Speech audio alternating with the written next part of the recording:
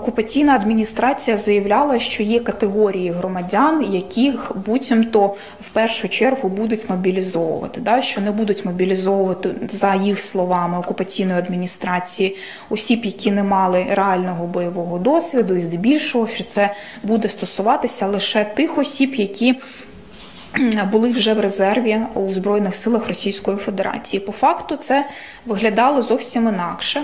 Е, фактично, е, військові комісари або їх е, працівники військоматів приходили в населені пункти або в місця масового скупчення кримчан, і в тому числі кримських татар, і починали масово роздавати такі повістки. Звісно, що по домівках теж ходили, розуміючи до кого вони приходять, але масовий характер воно мало саме тому, що це це було фактично виглядало як така собі облава на території населених пунктів. Е, дійсно.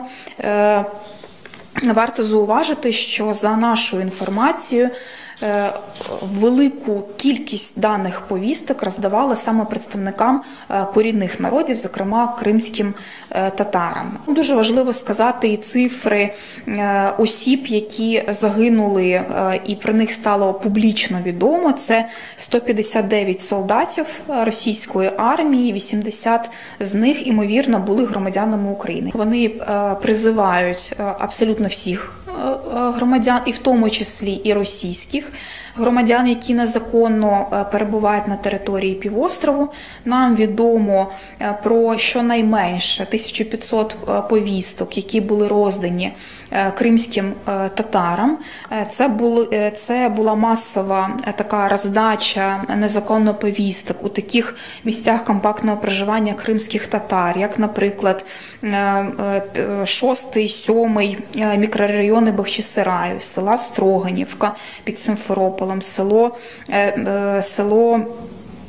Іслям Терек, е, перепрошую, село Зуя, масиви Сарусу, місто Саки, села Азовське, Майське, села Добрівської долини. Це здебільшого населені пункти, де проживають компактно представники корінного кримсько-татарського народу. І враховуючи, що кримських татар в, в загальній чисельності Криму Е, за різними підрахунками. Да? Останні цифри перепису свідчили про 250 тисяч е, осіб. Е, представники кримсько-татарського народу говорять там щонайменше про 350 тисяч кримських татар. Звісно, що там чоловіча частина населення, яка може призиватися, вона є набагато меншою, тому відсоток кримських татар є великим.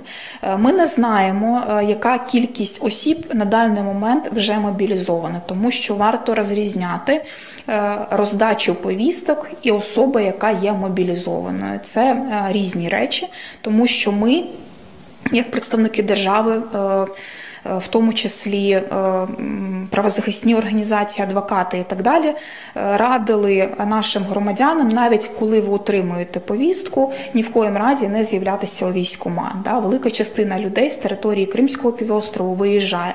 Тому е, прямої кореляції е, особи мобілізованої да, і так званого плану, який вже виконали за словами е, окупаційного керівника Крима Сергія Аксьонова, і роздачі повісток немає.